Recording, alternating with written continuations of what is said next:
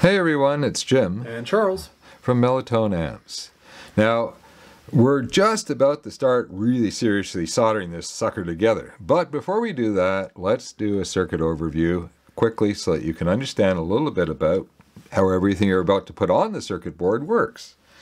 Okay, now this is easy. See your B plus, that's old fashioned for B plus battery. but what this is actually is your power supply um, high voltage feed. So I think everybody got that. And over here, here's the signal arriving. It arrives on on an, in an RCA jack, and it it essentially comes through this this really cool micro switch. So we, we have two um, two options coming in, and uh, we switch between them here. We're only showing one channel. That's why you only see two RCAs instead of the four, yeah? And um, we land on the Alps pot. This is a 100K um, dual section uh, pot, so it's a stereo pot. And the 100K pot actually sets the input impedance. Now, it will vary slightly depending on the position of the volume, but essentially you will end up with uh, with 100k basically as a nominal input impedance. I think the lowest it goes is something like 96, but Yeah, it really doesn't make much of a difference. yeah, and um, we we we enter the the grid of the gain stage, the 6N1P, or whatever tube you're rolling in. There's actually quite a few tubes you can roll in the gain stage through a a uh, grid stopper resistor, this little quarter watt 220R. What that does is it it it basically prevents or helps mitigate this wire here that's coming in from becoming an antenna. That's why they call it a grid stopper. The grid is extremely sensitive to signals, of course, because that's where the signal normally uh, lands onto the tube. This is a very standard gain stage. So the cathode of the tube is biasing it up, so it's a cathode bias tube. Sometimes called an auto bias. Yeah. And R5 down here, 360R 1 watt, that sets the operating point of this tube in conjunction with the voltage that's applied here. And of course, the actual impedance of the tube and its design all affects its operating point.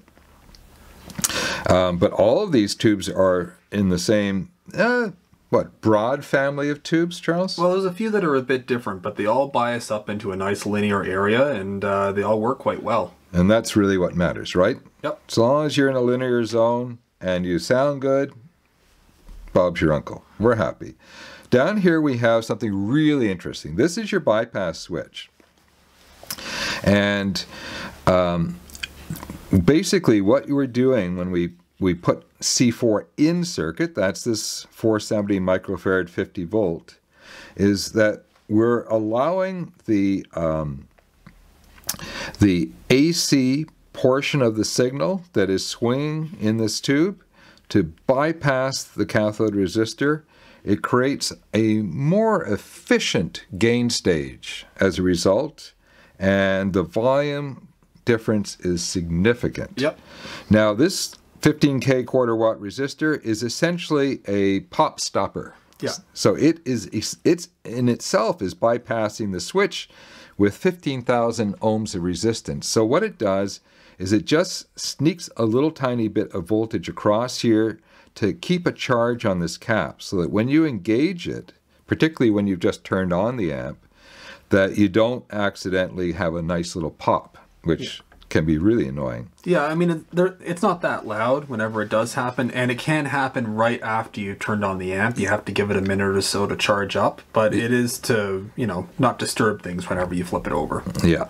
And the sonics of the amp will change depending on whether you bypass or don't bypass. And that's a real thing. Uh, designers, uh, aficionados, audiophiles have spent decades discussing whether this is a thing, whether they like it bypassed, whether they like it just simply cathode biased. Um, and um, and you get to see for yourself. And It gives you two options with every tube that you're using, and uh, also the bypass version gives you more gain. yeah, and uh, when we're all done building, we're actually going to do a segment that's the building manual. So we'll talk a little bit more about that. This is the plate resistor, 10k, uh, 2 watt, and this is what creates the swing. And when the signal arrives, it's anomaly in the positive phase. We take the gain signal off of the plate and the, the signal inverts. So now we're nominally on the negative phase. We couple through a capacitor so that high voltage DC that's present here. See that? doesn't make it across that ca- capacitor and doesn't end up on the grid and destroying your your next stage. Yep. Down here we have a 470K, and that is just a little tiny. Um, it's a grid reference, so it's referencing the grid to here as if it's the ground point. Yep. And if there is any stray electrons floating around the grid that shouldn't be there, that are DC, not AC, the signal is AC, this will bleed them off to ground eventually and keep the bias of the tube stable, which is, of course, very important. And here we're um, we've got a an inverted stage basically. So this is called a cathode follower. And what that does is not give us any gain. In fact, gain is nominally unity. Unity means one go one volt goes in, one volt comes out.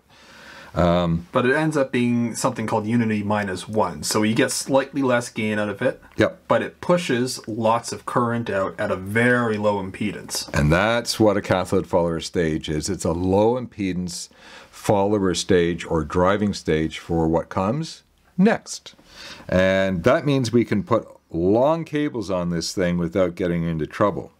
So we've got two resistors down here. This one here, R7, is essentially the same as R5. It's biasing up the tube. And down here we have a 5K6 5 watt. And the fact that it's a big, powerful resistor should give you a clue that, in fact, that's the plate resistor inverted. And it's way down here. So we get a very, we get the same amount of voltage that we got off the gain stage, basically, here, but we get very low impedance. Over here we have gain with high impedance. We couple a gain, and notice our signal has not inverted because we came off the follower. This is just a, a little tiny um, leak off of the signal to make sure that if there's any stray DC present, that it will bleed off at 220,000 ohms, 220K. Uh, it's a very high value, so the amount of signal loss is going to be very small. And then Bob's your uncle, we are out. It also acts as a load resistor here as well for the cathode follower stage. So if nothing is plugged in here, the stage is correctly loaded down. Right. Yeah. Excellent. Okay. Well, I think it's time to start building.